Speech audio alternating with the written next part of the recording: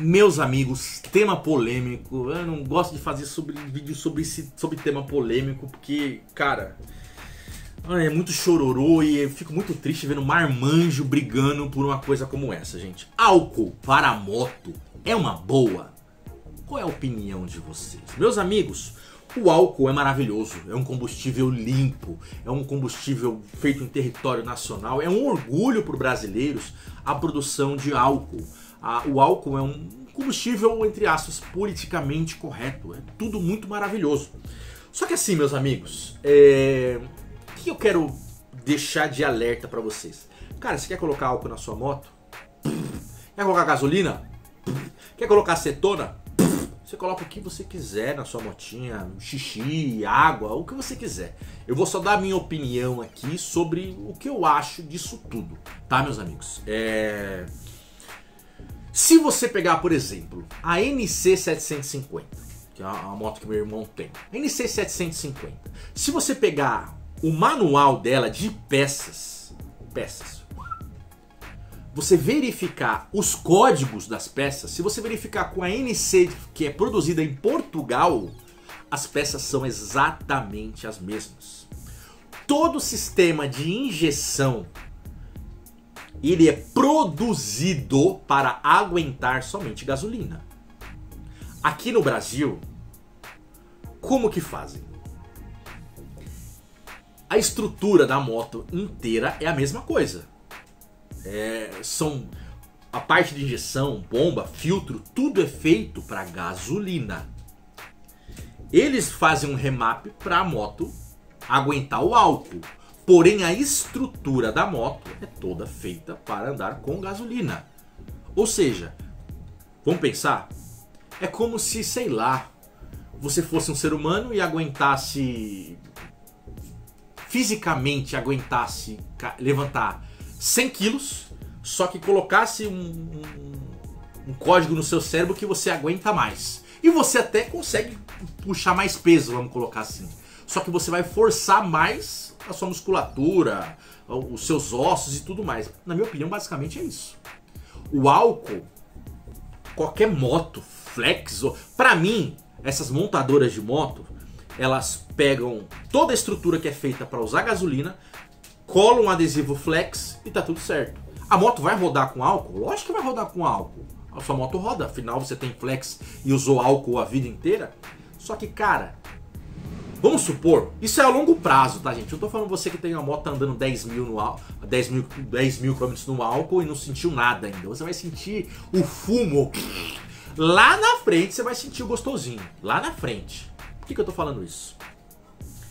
É, o remap é feito e tudo mais, o álcool sai corroendo tudo. Porque tudo, toda a estrutura da moto é de plástico, meus amigos. Se você for abrir, verificar bomba de combustível, pré-filtro, filtro, bico, é tudo plástico. E o álcool corrói tudo. O que acontecia muito na minha mecânica? Em 2004, 2005, fizeram um giclê, um kitzinho giclê conversão a álcool. Nossa, aquele, naquele momento, nossa, álcool era muito mais barato na época. Nossa, os motoboys adoravam isso. Ficaram rodando durante um ano. Só que aí quando veio o fumo, foi quando os motores começaram a chegar na nossa retífica. Os motores estavam podres, as válvulas esbranquiçadas, carburador só o bagaço, então o álcool corroía tudo. Qual seria o correto a ser feito, meus amigos? O correto a ser feito seria só que isso ficaria muito caro, impossibilitando venda de moto aqui no Brasil.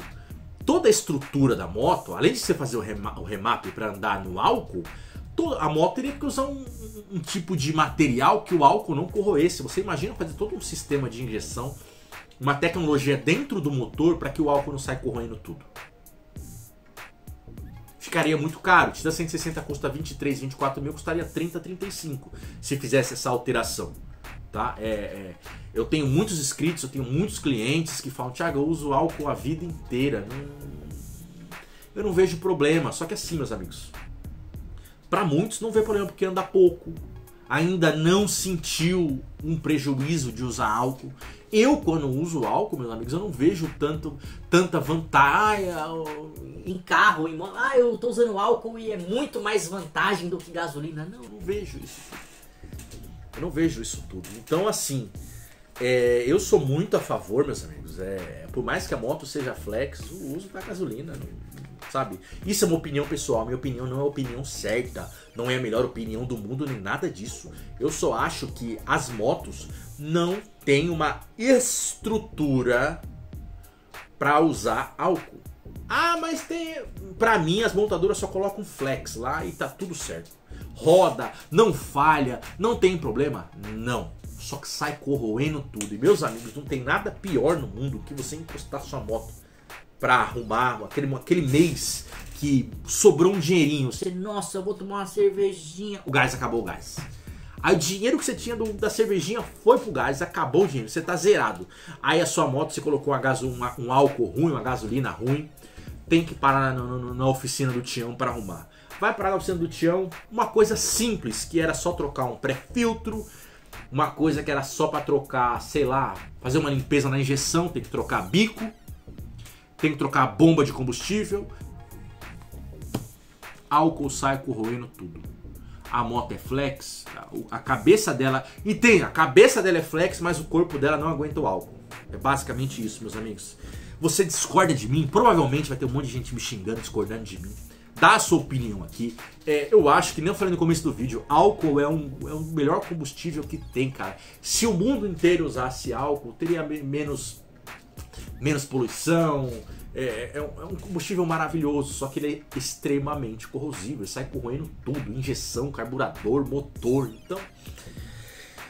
Enfim, meus amigos, é isso. Tá? Eu queria me pedir para fazer um vídeo sobre o que eu acho em ál- álcool em motos. Eu vi isso desde a época do. ca- Eu vivo isso aqui, gente. Eu vivo um balcão, eu vivo uma mecânica, eu vivo uma retífica há mais de 20 anos. A minha verdade não é absoluta. Eu venho aqui pra vocês e conto o que eu vi com esses olhinhos aqui. Eu sempre fui míope, mas sempre usei óculos, ó. E, ah, nossa, tá acontecendo isso. Abriu um carburador. Nossa, rodava no álcool. Nossa senhora. Tem que ligar pro cliente que ele pediu pra limpar o carburador. Não vai dar pra limpar, vai ter que trocar. Ó, esse aqui é a mesma, é a mesma moto, só que esse cara só usa gasolina. É só fazer uma limpezinha no carburador, trocar um giclezinho. Ó, rodou, foi embora, lindo, lindo, lindo. Caso de injeção, que nem eu falei pra vocês aqui. Só tem uma moto flex. Se a moto flex pode andar no álcool, beleza. A montadora, você acredita na montadora que só colocou um adesivo flex, beleza. Um rodou no álcool, o outro rodou numa gasolina de um posto de confiança. Vai ter que fazer uma revisão na injeção. Pode ter certeza, amigo. Aquele cara que só anda no álcool, vai bomba. Bomba de combustível é uma das peças mais caras de moto que tem. Tá? E o povo vai começar a vender muito mais com essa gasolina 35%. Ó. Dono de oficina, quem vende peça de moto, ó, use álcool, use álcool, use álcool. Tá basicamente isso. Eu tô aqui falando pra você não usar álcool porque eu ganho menos dinheiro. Olha como eu sou trouxa. Então assim, se um cara vai fazer uma revisão numa injeção, eu acho que isso pode acontecer com gasolina também, se colocar uma gasolina muito podre. O cara vai fazer uma revisão numa moto injeção que só rodou em álcool, cara, provavelmente ele vai ter que trocar bico, vai ter que fazer limpeza, passar scanner, trocar bomba de combustível, trocar filtro, trocar tudo. Às vezes um cara que usou gasolina boa, só uma limpeza no corpo de injeção já é o suficiente, trocar um pré-filtro só para desencargo de consciência, trocar um filtrinho de combustível, ó, resolveu o problema. Enfim, meus amigos, como eu falei no começo do vídeo novamente, você quer colocar óleo de cozinha, você quer colocar xixi do seu filho, você quer colocar dipirona na gasolina, no álcool, a moto é sua, você faz o que quiser. Eu sou só uma pessoa que está dando opinião pelo que viu em retífica em oficina de motos. Enfim, é isso, meu amigo. Muito obrigado por ter ficado até o final. Valeu e até a próxima.